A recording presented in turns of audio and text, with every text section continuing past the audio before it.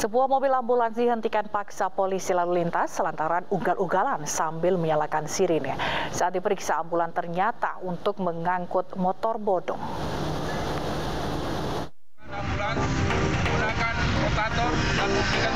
Dua orang polisi lalu lintas dari Polda Sulawesi Selatan menghentikan paksa mobil ambulans yang ugal-ugalan di jalanan sambil menyalakan sirine untuk meminta jalan dari arah Kabupaten Pangkep menuju kota Makassar. Setelah diperiksa, ternyata ambulans tidak membawa pasien maupun jenazah, namun malah membawa motor bodong tanpa surat-surat.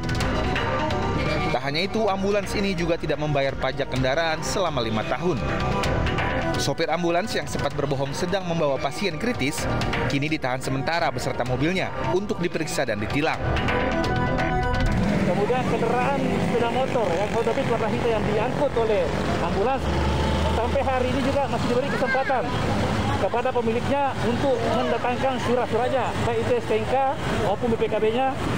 Nah, kendaraan sekarang ambulans dengan kendaraan sepeda motor yang diangkut dalam ambulans masih sementara diamankan di Direktorat Lalu Lintas Polda Sulawesi Selatan. Rekan-rekan saya, sopir yang berprofesi sebagai sopir ambulans, tolong bagaimana caramu menanamkan kepercayaan kepada sesama pengguna jalan. Makanya akhir-akhir ini banyak sekarang pengemudi ambulans mengeluh. Minta jalan bunyi rotator dengan serina masyarakat enggak minggir. Masyarakat pengguna jalan enggak minggir. Kenapa? Karena seperti ini masyarakat tidak mau dibohongi Polisi mengimbau seluruh sopir ambulans untuk mengutamakan pasien dan keselamatan di jalan dan tidak membohongi masyarakat bila tidak dalam keadaan darurat. Dari Makassar, Sulawesi Selatan, Yul Yuspin, iNews melaporkan.